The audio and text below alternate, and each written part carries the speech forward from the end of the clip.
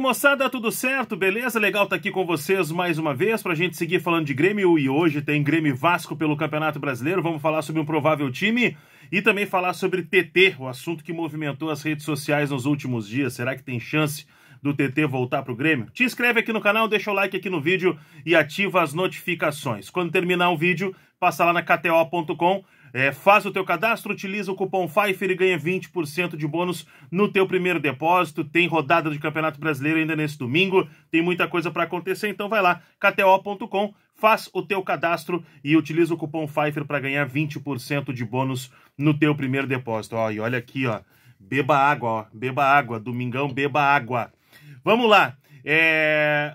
Vamos começar falando sobre TT, né? Porque movimentou as redes sociais nessa semana, porque o próprio jogador fez uma postagem ao lado do vice-presidente de futebol do Grêmio, o Antônio Brum.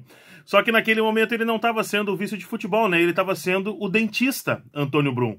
É, e ele que faz o tratamento de, de, de, clareamento, as lentes de contato que o TT utiliza. E quem coloca é o Antônio Brum, é o dentista Antônio Brum, e não o vice de futebol Antônio Brum. É claro que eles devem ter conversado, é evidente que esse assunto pode ter surgido. Mas a informação, ela dá conta de que o TT vai esperar, porque ele está livre no mercado, né? Vamos lembrar isso, ele está sem clube neste momento, e estando livre no mercado, ele é um daqueles jogadores que ainda pode ser inscrito no Campeonato Brasileiro até o dia 15 de agosto. Então teria uma possibilidade de um clube tentar a contratação do TT. O Grêmio foi, fez uma pesquisa, não foi só o Grêmio, outros clubes brasileiros fizeram a pesquisa para tentar contratar o TT. Porém, é, o que todos os clubes ouviram é de que o desejo é permanecer no futebol europeu. Ele vai esperar a janela de transferências do futebol europeu e a gente sabe que o empresário dele, o Pablo Bueno, é um empresário que tem algum, algum trânsito lá no futebol europeu, é, que não seja nos clubes de grande porte, ele vai acabar colocando o TT em algum clube, nem, nem que seja de centros médios do futebol europeu. Então, o, o TT, neste momento, não vai voltar para o Brasil.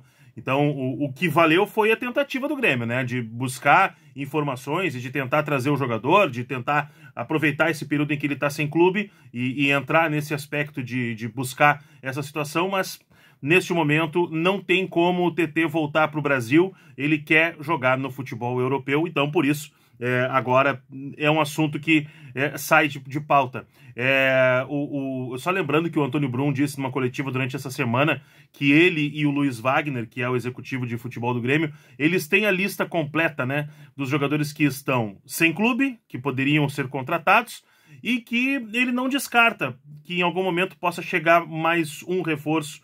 Né, então aí a gente tem que ficar atento a tudo que está acontecendo.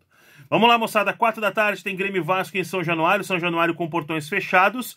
E um Grêmio que eu até projetava, poderia contar com Jeromel, pelo menos no banco de reservas, mas não aconteceu. O Jeromel não foi relacionado para essa partida. O Kaique foi relacionado para o jogo e o Lucas Bessossi também foi relacionado. São jogadores que ficam no banco de reservas.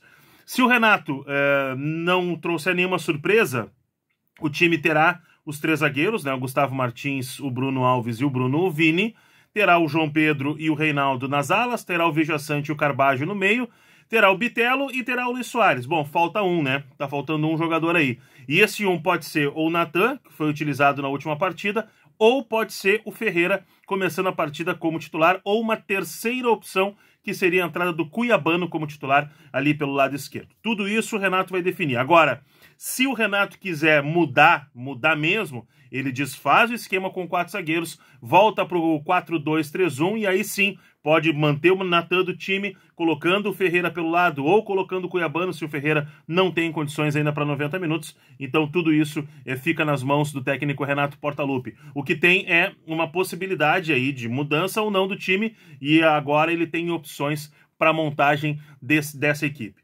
A rodada ela começou de certa forma interessante, né? Começou de certa forma interessante e o Grêmio, se vencer o jogo, vai ultrapassar dois times que estão logo à frente, né? O Palmeiras e o Fluminense. O Fluminense que ultrapassou o Grêmio, o Grêmio vai ultrapassa Palmeiras e Fluminense. E aí tem só a questão do Flamengo para ver se o Grêmio consegue ultrapassar o Flamengo ou não. E aí para tentar buscar e se aproximar do Botafogo que também joga na rodada. Então é uma rodada importante também. Vamos lembrar que está acabando o primeiro turno, né? A próxima rodada já é a de encerramento de primeiro turno. Por mais que o Botafogo já tenha pontuação suficiente para ganhar o título simbólico, como aconteceu na última rodada, mas o primeiro turno está terminando e vai começar o segundo turno. E a gente já sabe que o Grêmio está no pelotão da frente, vai brigar pelas primeiras posições até o fim e a gente vai ficar acompanhando tudo por aqui. Então te inscreve aqui no canal, deixa o like aqui no vídeo e ativa as notificações. Obrigado pela companhia, um bom jogo a todos e, claro, um bom domingo a todos.